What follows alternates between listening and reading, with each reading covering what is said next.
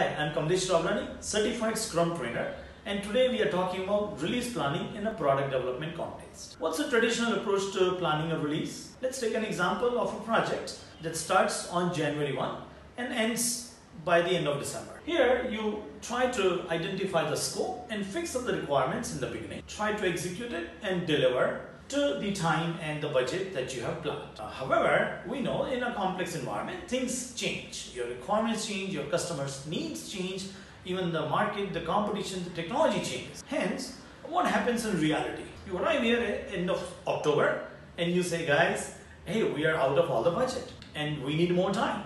Doesn't really work. Now that you realize that we are working in a complex environment where things keep changing, uh, let's say you're applying Scrum your stakeholders, your finance team, or your clients who still need this information. How would you do this uh, when you're applying Scrum? We say instead of this approach, um, we fix up the budget and the time while keeping the scope variable. Let's say you are given a budget of $2 million, a fixed cost, and the time. So you have a seven member team and you work in two week sprints. Based on this information, then it costs $100,000 per sprint to engage this team. Based on a $2 million budget, you know that you can retain this team for about 20 sprints, which gives you from January 1 about 40 weeks time. Knowing your $2 million budget and 40 weeks time, keeping both of these fixed, you keep your scope variable. Here, a product owner owns the ordering of the product backlog items. So when the requirements change,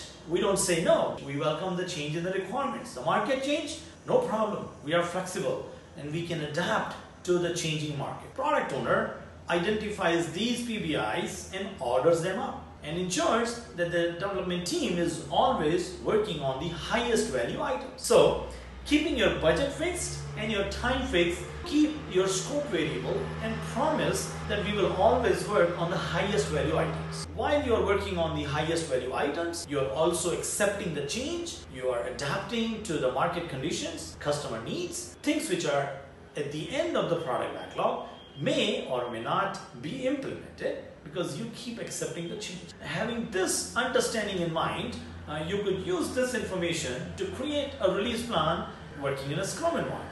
In summary, what we are saying that if you work in a complex environment where your customer requirements keep changing and all of these changes could not be planned or known upfront, how would you plan your release? Is by fixing up your budget, fixing up your time, and keeping your scope variable. By keeping your scope variable, you are open to accept the changes, uh, hence you stay adaptable and you can keep delivering requirements, the needs of your customer that are most current and highest ROI for your organization. Would your customer and the organization benefit from it? Let me know in comments. Thank you.